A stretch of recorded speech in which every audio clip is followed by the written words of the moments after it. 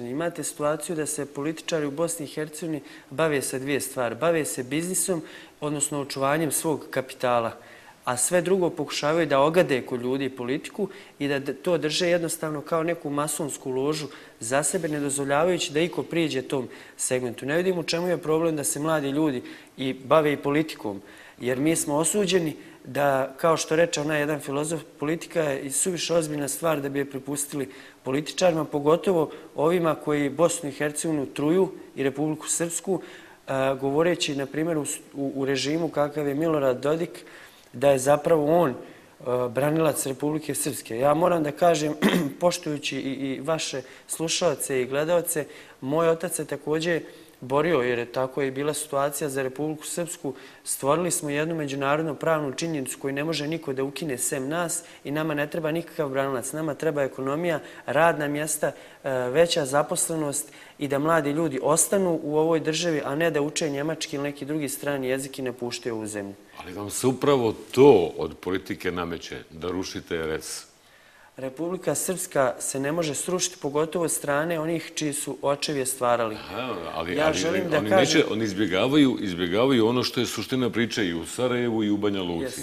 I to je potpuno, na istom su užeta. To je dva kraja jednog istog užeta. Pa to je borba protiv loše vlasti. I u RS-u, i u Federaciji, i u državi. Apsolutno. Imate režime, imate e, najgori mogući oblik demokratije gdje svaki dnevnik počinje sastankom šestorke. Znači šest ljudi, odnosno šest mudraca kao u starom Rimu ili u Grčkoj odlučio o sudbinama više miliona građana u Bosni i Hercegovini. Nije demokratija i nije prava vlast. Pa ne bih rekao ni da je partiokratija, jer pitanje je koliko ti ljudi imaju podršku i svojim partijama, znate. Mnogo tu ima straha. Možda ima gospodin Fahra Radončić neku veću podršku, ali svim ostali imate jednosmjerne, dvosmjerne ili više smjerne struje unutar partija i to će da... Znači, posmatraš kao šestoricu pojedinaca pa jeste, koji niko ne smije da im priđe, nameću svoj tempo i dinamiku i ono što je e, konstantno, ja vidim u čemu je problem, da dok god pričamo o sukubu između Zlatka Lagumđije i Milorada Dodika, mi ne možemo da dođemo na temu ekonomije. Vi imate situaciju da su građani u Bosni i Hercegovini žive u najsiromašnijoj državi, gdje imate porast samobistava, odlazak mladih ljudi, kriminal i korupcija koja je iz dana u dan hara. To nema veze sa entitetima, kantonima, ustrojstvom države, već ljudi nemaju perspektive nade i Ima definisane nadležnosti i entiteti i Bosni i Hercegovini. Ja ovdje ne želim da govorim kao neki ekspert za međunarodnu politiku ili ustavno pravo, govorim kao običan mlad čovjek. Sve ovo čemu oni trenutno pričaju po televiziji, po medijama, mi na večer ne možemo namazati na hljeb. Jer imate situaciju da gladni stomak krče daleko više od nacionalnih priča. Šta kaže Dodik? Pa gospodin Dodik... Pa gospodin Dodik nema informacije sa terena. Oni žive u jednom otuđenom centru moći koji na najbolji način ne svata koje su potrebe javnosti. Ja ne želim da komentariše njegovu spoljašnju politiku koja vratno ima nekih pozitivnih pomaka generalno, ali unutrašnja politika je katastrofalna. Vlada Republike Srpske je izmijenjena, ne promijenjena, jer su samo zamijenjeni igrači na polovremenu konkretnih rezultata nema, otvaraju se samo afere, imali ste birač, pa ćemo sad otvoriti rafineriju, konstantno raste broj nezaposlenosti i korupcija je glavna odlika, odlika tog sistema. I ono što bi želio da kažem da je mladim ljudima, ja poštujem i penzionere i borce i za njih se mi borimo da im vratimo dostojanstvo, a nama budućnost, ukradena nada da se učenjem, poštenjem i radom može nešto postići. Jer sistem u kojem mi živimo stvorio jednu sintagmu, on se snašao ili ona se snašla. A snaći se na pošten način u ovom društvu ne možete jer morate biti povezani i sa SDP-om i HDZ-om i SNSD-om da bi došli do neke pozicije. Mlad čovjek sa partijskom knjižicom se kao sigurni osjeća. Pa više nije... Prodaje se u startu. Jeste, ali... Nema ideala, interes. Ja vidim da više ni to nije mjerilo. Eh, sad morate i dušu prodati da bi nešto postigli, morate igrati krajnje prljavo i bezobrazno i morate prodati sve što imate u životu duševno da bi postigli nešto imalo materijalno.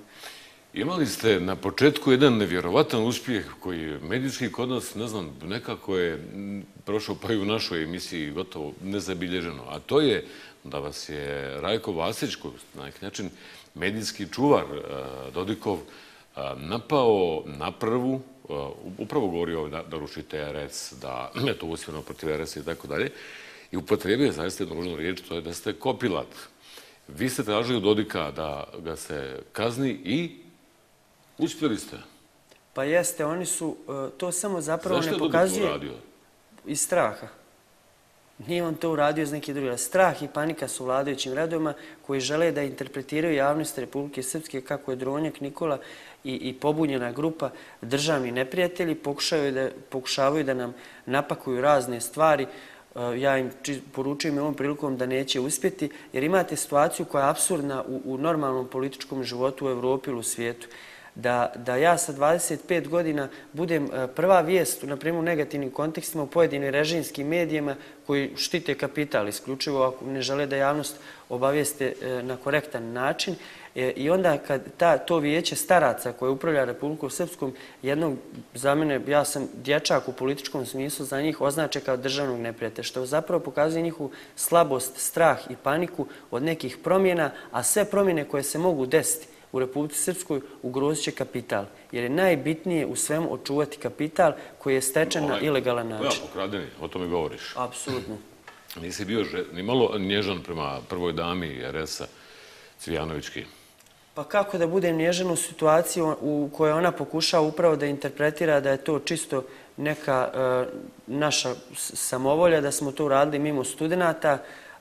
Ona zapravo ne razumije, gospođa Željka Cvijanović, situaciju u kojoj se nalaze građani Bosne i Hercegovine i riječ koju ona često ponavlja faktički, ona faktički nije svjesna da je narod gladan i da je narodu dosta više ušminkane priče na televiziji gdje se pokušava a, pokušava interpretirati kako je sve dobro i kako se trebamo strpiti, kako će ogromne milijarde da uđu u Republiku Srpsku i podignu a, standard a, građana. I imate generalno što god više se pričaju neke nacionalističke, šovinističke priče kako one rastu, BDP pada.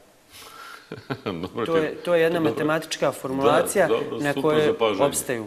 Ono što, Više nacionalizma, da. manje para. A, ono što I ja, apsolutno, želim samo da istaknem da mladi u Republici Srpskoj apsolutno su svjesni situacije u kojoj se Koliko nalaze. njih ima, a, kako bi rekao, koji tako razmišljaju kao ti i pojavljuju se javno kao ti? A koliko ih ima koji razmišljaju kao ti, ali ne smiju da se pojave? Pa ne smiju zato što u pitanju jedan klasični ekonomski, kulturni i bilo koji totalitarni drugi režim u pitanju. Režim vlasti jednog lica, gospodina Milorada Dodika, koji je nametnuo tempo koji održava, ali ljudi će se probuditi i shvatiti da zapravo ono što ja konstantno ističem, svu tu demagogiju koja prosipa režim se ne može namazati na hljeb. Ekonomske činjenice i svakodnevnica pokazuje sasvim drugu situaciju. A ovakvi kao što sam ja u Republike Srpskoj imate na hiljade i uopšte nije bitno moje ime i moja pozicija, jer a, bitan je a, moj status u, u, u sociološkom smislu. Znači, student sam a, univerziteta u Banjo Luci, dijete nezaposlenih roditelja, izbjeglica, nebitno, i ne moram biti izbjeglica, osjećam da nemam perspektivu u ovom društvu, u, u određenom sam beznađu i apatiji i shvatam koliko je režim spreman da uguši bilo koga koji govori o problemima, a nije spreman da rešava te probleme. A hoćeš da ostaneš u ovoj zemlji?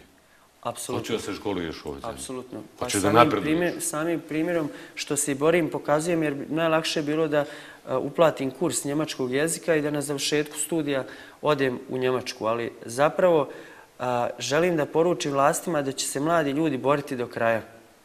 Da mi nemamo vile na elitnim mjestima od Jadrana do Azurne obale Srbije ili nekih drugih destinacija, da mi nemamo nula na računu, da mi nemamo roditelje koji nam mogu obezbijediti unaprijed 100 godina kako ćemo da živimo. Mi imamo a, jednu republiku, mi imamo jednu želju, a to je da živimo bolje i da se za ovo borimo. Ovo je zemlja sa najboljim prirodnim resursima, a, izvorište i vode i energetike i svih drugih resursa koje se prepuštaju u ruke pojedinim njemačkim ili ostalim kompanijama, ne vrijeđam njih, nego kažem da je vlast nesposobna da pokrene bilo šta. Ne kažem da treba ići statistički da se vlast miješa i da se stvara ponovo socijalizam, ali privredni ambijent je katastrofalan, gdje imate absurdnu situaciju da važi jedna priča da su, da su stranci iz, iz Japana došli da doniraju određena medicinska sredstva u iznosu 2 miliona eura a, Republici Srpskoj, a jedan od zvančnika je tražio reket od 400.000 maraka. Na donaciju. Na donaciju. Znači je više, više kad je ulaganje u pitanju. Ima nešto što je evidentno, Nikola. I ja često postavljam to pitanje, ali ne insistiram, već samo tražim šta je to. Pretpostavljam da je to neka vrsta, pa no, vi ste mladi ljudi, malo straha Banja Luke od Sarajeva, malo strah mladi ljudi iz Banja Luke eh, da se to previše ne poveže sa ovim zbog IMBG eh, ispred, ispred parlamente. To je sve okej. Znači, i to je vlast, do, do, Dodik sjajno uočio, ovaj, mislim, sjajno po njega i kao, vidiš, ti rušiš tamo, slažeš se sa Sarajevom, znam, Teheranom i tako dalje. I to. A u stvari, Evo, ponavljam se, želite isto i vi i mladi ljudi u Sarajevu i u Mostaru. Sam vidio na, na, na neki dan u nedelju kako je to bilo tamo fino, kulturno i tako da. Znači, mladi ljudi samo se bune protiv loše vlasti. Ali zašto, zašto ipak, uh, ili nema potrebe da se, kako bi rekao, barem u nekim elementima protesta identificirate sa Sarajevom, Sarajevo s vama, i svi zajedno sa Mostarom? Pa zato će biti potrebno vrijeme da se, da se medicinski rečeno izliječe ljudi od nacionalnih tenzija. Ja ću vam objasniti na primjeru kako to posmatruju obični građani iz e, Republike Srpske, na primjer Banja Luke, a vjerojatno tako i Sara. Imate dva ekstremna pola. To je da politička vrhuška u Bošnjaka pokušava da ide s ekstremnom pričom unitarna Bosna i Hercegovina i gdje Zlatko Lagumđija i, i politički establishment oko njega pokušava da iz Sarajeva upravlja sa svim resursima Bosne i Hercegovine. I onda to prouzrukuje situaciju, a tu imate priču od Harisa Sileđića koji ukide u Republiku Srpsku, izazovete kontraefekat kod ovih drugih koji hoće da se ocijepe. Mi moramo negdje na sredini da shvatimo da je Bosna i Hercegovina, sad govorim kao političar, ali moram da, da definišem javnosti. Bosna i Hercegovina ima, ima fotelju u Ujedinjenim nacijama i to će biti do daljnjega. Republika Srpska i Federacija su uklopljene u jedan međunarodni projekat, osuđene da žive zajedno. Imali ste desetak, 15 godina raznih prevrata i, i, i kod jednih i kod drugih. Mislim da je došlo vrijeme da je narod shvatio da napretku Banja Luke samo može pomoći napredak Sarajeva i obratno. Ekonomija je ključna stvar, kredite treba vratiti.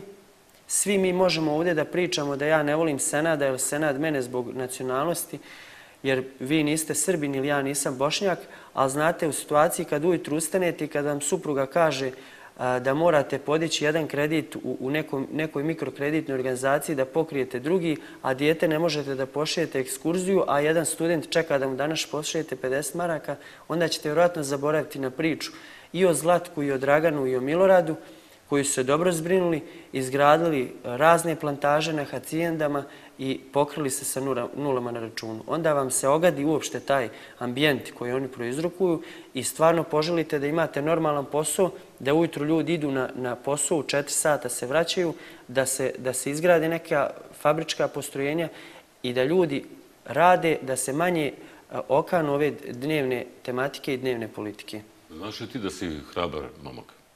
Pa nisam ja hrabar u tom smislu, jednostavno rekao sam vam, muka natjera ljude da, da progovore o tome. Ja sam dužan ispred mladih ljudi kao neki budući intelektualac da saopštim da, da treba da se otvorno krene u borbu protiv režima i da se uspostavi bolja ekonomija, jasnija demokratija i da mladi ljudi se školuju u tom pravcu. Da se izgrađuju ekonomske vrijednosti, da se smanjuje nezaposlenost, da se smanji javni dug Bosne i Hercegovine, odnosno entiteta, da se izvrši rekonstrukcija koja je potrebna radi funkcionalnosti, prije svega je u Federaciji, u Republike imamo nešto jasniju situaciju, i da je nezapamćeno da u 21. vijeku, nakon toliko vijekova humanizma, renesanse i svih drugih pravaca, ljudi na planeti protestuju zbog jedinstvenog matičnog broja. Ja sam i danas novinarima koji su došli iz Njemačke rekao da ako nastavimo ovim tempom, za ekologiju ćemo se boriti tek za šest vijekova. Jer mi sad se borimo samo za jedan broj koji je krajnje ispolitizovan. Nešto što je u svijetu toliko, jel? Jednostavno. Zakonsko rješenje, mislim, niko o tome nije razmišljao do juče.